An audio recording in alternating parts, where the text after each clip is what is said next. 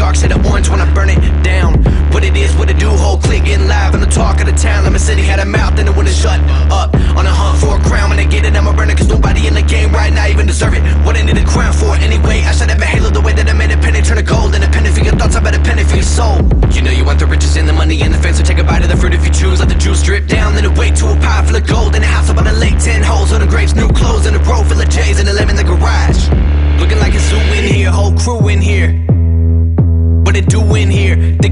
My mind.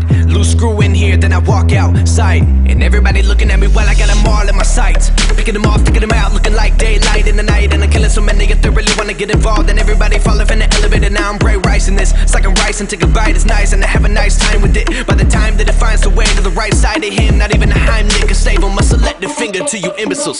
Tell me what's been getting into you. Envy will kill you. She said I'm a gentleman. I admit a lot of women set up on my ottoman. I don't give a damn like I auto with no time to kill. I've been feeling like the opposite of work. It's a work and it never been a purposeful thing to me. I just do what I love and it works for me. So I'm freaking every check. I put the money in the push and ready to be gunning to the finish. And the kid in the-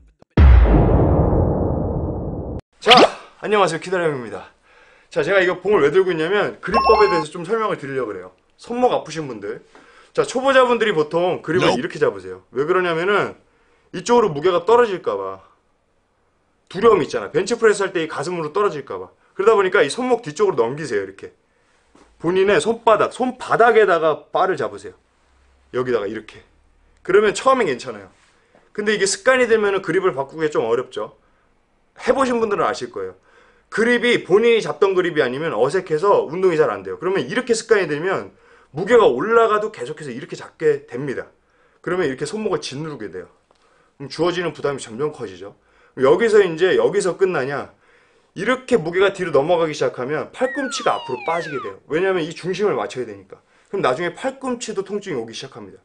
중량이 올라가면 올라갈수록. 자, 그럼 그립을 어떻게 잡아야 되냐? 본인의 손을 이렇게 펼쳤을 때 기가 막히게 무게가 걸려도 되는 부분이 딱 생겨요. 근데 거기가 또 기가 막히게 딱 손목 바로 위죠. 보시면 위치가 손목 바로 위에 이 중량을 자연스럽게 놔주시면 됩니다. 그리고 잡으세요. 그러면 여러분들이 생각할 때 이 중량이 앞으로 빠질 것 같지만 내가 이렇게 하고 여기다 올려놓고 그립을 살짝 감아서 꽉 잡아도 내 손은 약간 뒤로 움직여져 있어요. 그렇기 때문에 여러분들이 일부러 이렇게 손을 앞으로 던지지 않으신 이상 무게가 밑으로 누르고 있기 때문에 내 손목 위에만 정확하게 놓고 꽉 잡으셔도요. 절대로 무게가 앞으로 안 빠져요. 썸네스 그립으로 잡으면서 힘이 빠졌을 때 이렇게 손목이 서게 되면 앞으로 떨어질 수도 있겠죠. 근데 over grip으로 잡으신 상태에서 standard grip으로 잡으신 상태에서 본인이 엄지와 검지 요 정확하게 요 사이에 놓으신 상태에서 그대로 잡아주신다면 손목에 절대로 부담이 안 가고 앞으로 절대로 안 떨어져요. 본인이 앞으로 일부러 던지지 않는 이상. 근데 해보시면 아시겠지만 이렇게 잡은 상태에서 무게가 엄청 많이 나갈 때는 앞으로도 못 던져요. 이 무게를 내가 손목으로 감아서 위로 올려가지고 앞으로 넘길, 넘길 정도로 손목의 힘이 그렇게 강하진 않습니다. 그렇기 때문에 한번 그립을 딱 잡아서 제대로 잡으시면 이게 가장 좋은 그립이에요. 손목에 부담을 안 주고 팔꿈치에도 부담을 안 주고 예, 이렇게 해서 운동을 하셔야 돼요. 이거를 이렇게 여기다 잡아가지고 이렇게 하시면은 처음에는 되게 안정적인 것 같이 느껴져도 이 습관이 왜 들어가 있냐면 제가 추측을 해보건데 푸시업을 생각을 하시면서 프레스를 하시다 보니까 방바닥에서 푸시업을 하시게 되면 이 그립이 가장 힘이 잘 들어가거든요. 그러다 보니까 벤치 프레스를 하실 때도 본인의 푸시업 그립을 그대로 습관을 살려요. 근데 벤치 프레스를 하실 때 절대 그렇게 하시면 안 돼요. 나중에 손목, 팔꿈치 다 무리가 갈 수 있습니다.